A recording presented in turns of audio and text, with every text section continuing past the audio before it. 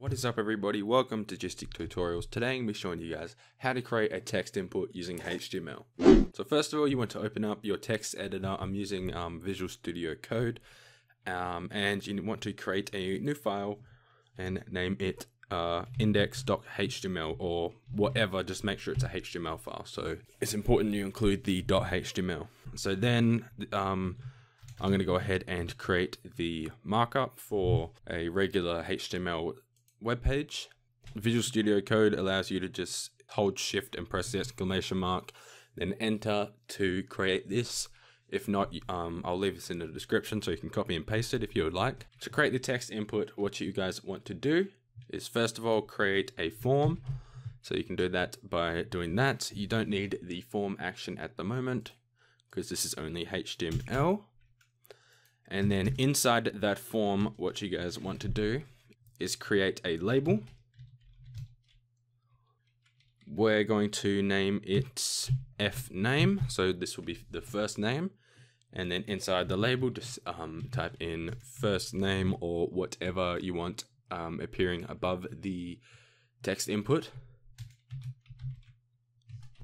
So that's what it's going to look like. And then I'm going to include a break. And then I'm going to type input uh, and then under type I'm going to put text. And then I'm going to ID it as F name the same as the label. And then I'm going to include a placeholder. And that placeholder is going to be type here uh, triple dot. And then I'm going to go ahead and save it by pressing control S. Going to my browser I'm going to refresh the, the local host. And as you can see there is a text input here with the first name above it. So if I go Control Shift I, and then if I go Control Shift C, you guys can see that the first name is the label um, F name, and the text input is right underneath it with the placeholder being type here. So in this video, I'm not going to show you how to style it or anything because that is not what this video is about but I will show you how to create a simple form real quickly. But that is how you create a text input. So if you want to create another field, you can just go ahead and um, usually put a break in between just so there's some space. And then I'm going to put uh, last name, and then we're going to say L name, and then type here. So this is actually going to be within a field set. So I'm going to go ahead and copy that and close it at the end of this so just do that. I'm just going to double space this actually. Just so that looks a little bit neater.